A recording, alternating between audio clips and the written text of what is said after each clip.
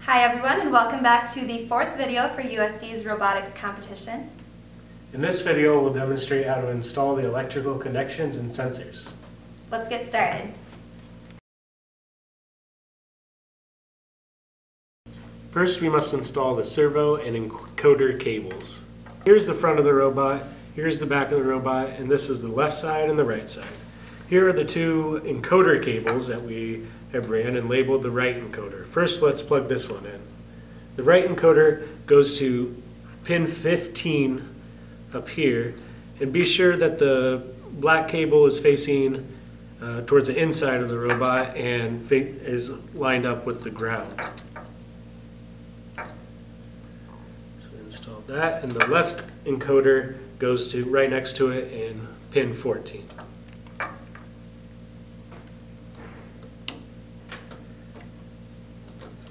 Next, we simply have to install the servo cables, and we have these routed. We have the right one labeled, and it goes to pin 13. Again, make sure that the black cable is towards the inside.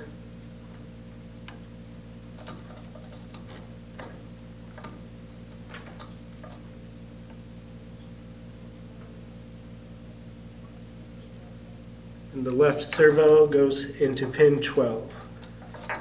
It's also important to make sure that you don't have any batteries installed during this step or this plugged in. Using the 20 kilo ohm resistors shown with, the red line, black line, then an orange line on them, we must connect sockets P14 and 15 to the 3.3 voltage. We're doing this to match uh, the encoders that we installed both on pin 14 and 15. All you need to do is simply, you can bend it a little and just push it into P15 for one resistor. The other side up here into the 3.3 volt slots. Same with the next one from P14 again to the 3.3 volt slots.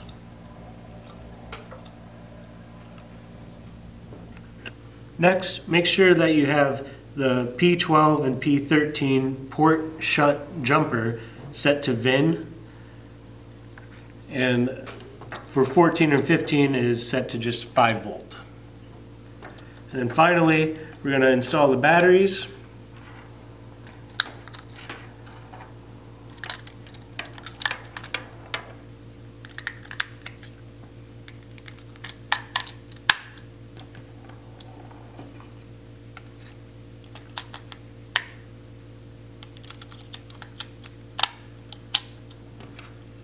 and plug in this barrel cable.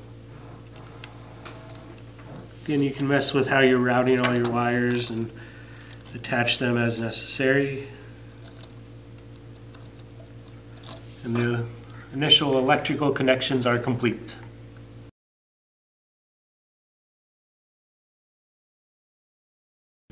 All right, now we're going to show you how to attach the whiskers. These are used for touch navigation.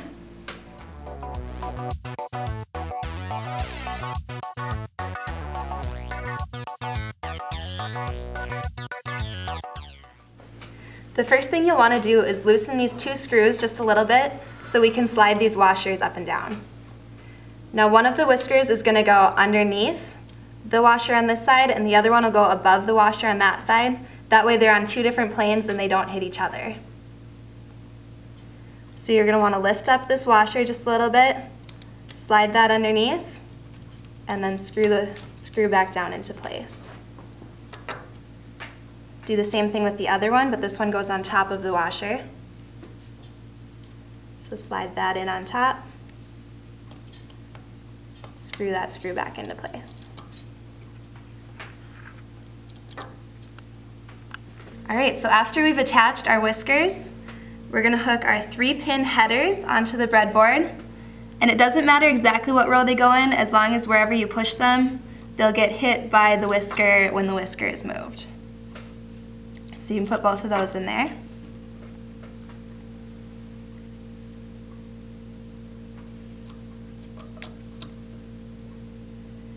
Once you have those in, you take a 10 kilo ohm resistor, which is the brown, black, orange, and you hook it to one of the 3.3 volts, and then hook that to the hole right next to your three pin headers.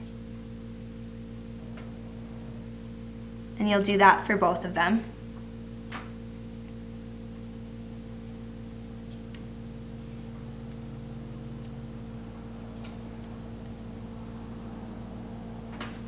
After that, take the 220 ohms, which are red, red, brown, and attach them from P7 and P8 into the holes right next to where your 10 kilo ohm were.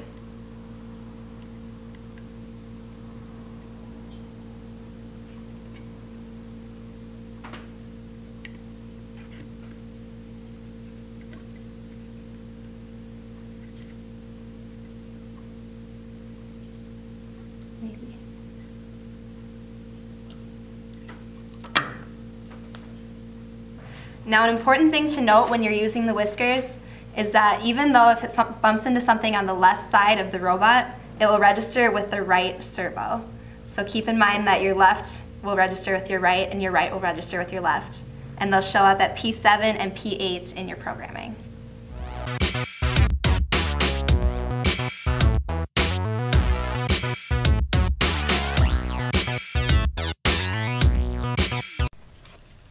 Next we'll be installing the ping sensor. For this you'll need your ping sensor, a red and black wire, and then a 2.2 kilo ohm resistor, which is a red, red, red resistor. So the first thing you'll want to do is put the ping sensor onto the breadboard. You'll just center it on top and press it down.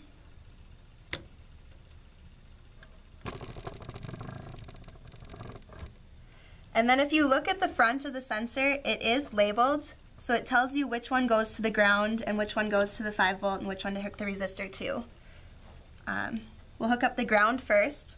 So the ground will go from the right pin and then put that one to the ground.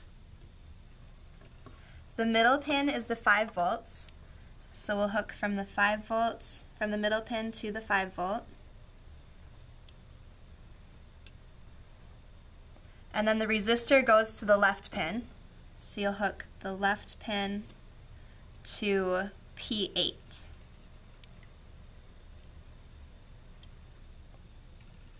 And that's how you install the ping sensor. This is an example of the robot using the ping sensor.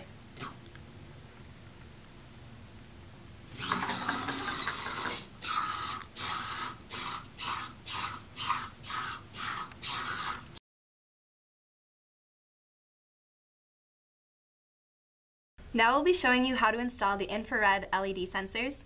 For this, you'll need two receivers, two LEDs in their casings, two 220 ohm resistors, which are the red, red, brown, two 1 kilo ohm resistor, which is brown, black, red, and various other wires.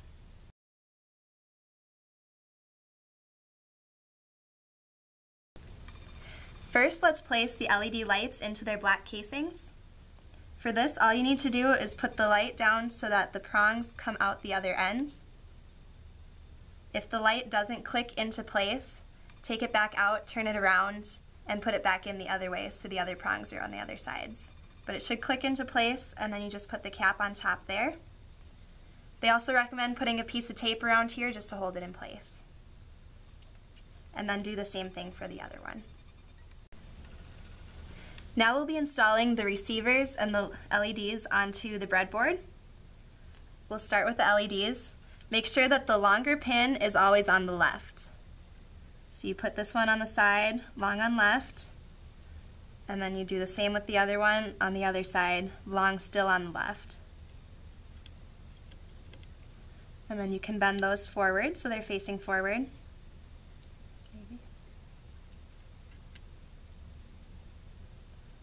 And then we'll put the receivers in. They start in the row right next to the LEDs and one back. So starting in the third row, one back, make sure that the receiver light is facing forward, or the receiver is facing forward.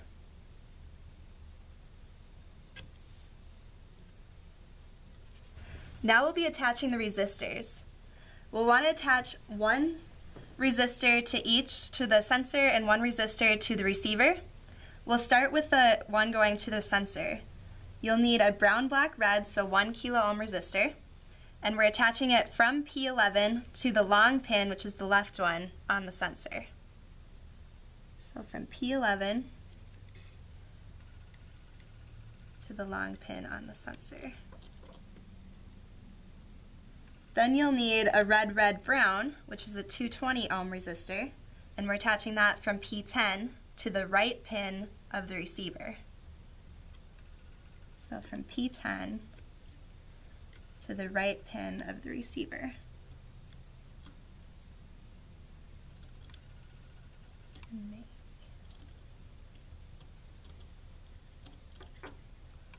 And then you'll repeat that process for the other side, making sure that you attach to the left pin of the sensor and the right pin of the receiver, going into P1 and P2.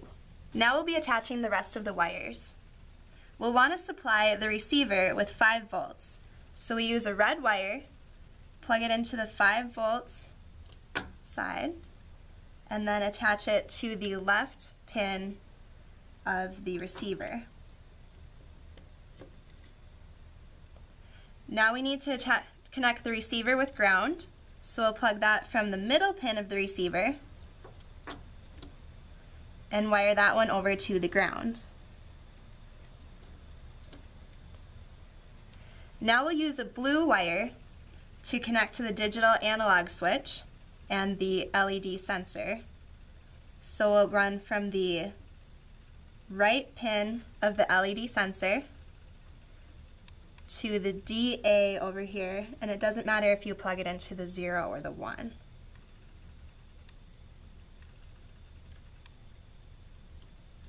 And then you'll repeat that process for the other side as well. Stay tuned for more videos and we can't wait to see you on the campus of the University of South Dakota on April 8th.